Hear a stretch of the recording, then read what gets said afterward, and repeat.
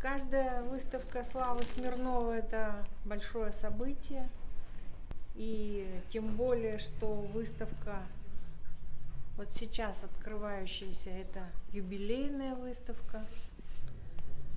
В общем-то, за какой-то отрезок времени, да, это все-таки размышления художника, э, деяния его, так скажем, вот в данном временном срезе. В общем, конечно, очень все интересно и правильно Леонид Иванович сказал, что Слава у нас ярчайший представитель пермского авангарда и э, с самого начала, где-то с 80-х годов до сегодняшнего дня он с этого пути, э, в общем-то, ни разу не свернул. Он очень последовательно, очень убедительно и очень э, феноменально, я бы сказала, движется э, в направлении к иному, вот так можно сказать. Вообще у него одна из выставок называлась «Иные миры». И действительно, вот как, какая бы реальность ни лежала в основе его э, наблюдения, его впечатления, все равно она всег, всегда преображалась.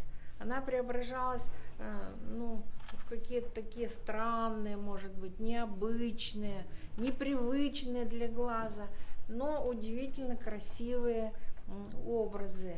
И э, вот то, что Славу как бы подвигает на этот путь, что дает ему импульс и толчок, это, наверное, осознание времени, ну, во всей его, скажем так, плотности, во всей его э, длинноте, во всей его, э, ну, необыкновеннейшей красоте, потому что время, которое ощущает слава в своих образах, восходит к древнейшим пластам нашей человеческой культуры и, может быть, конкретно нашей пермской культуры.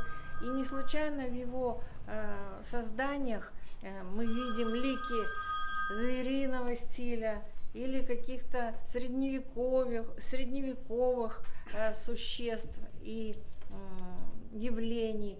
В общем, э, Слава Смирнов чувствует вот эту протяженность времени, и лики времени у него всегда очень разнообразны, очень э, непривычны и притягательны.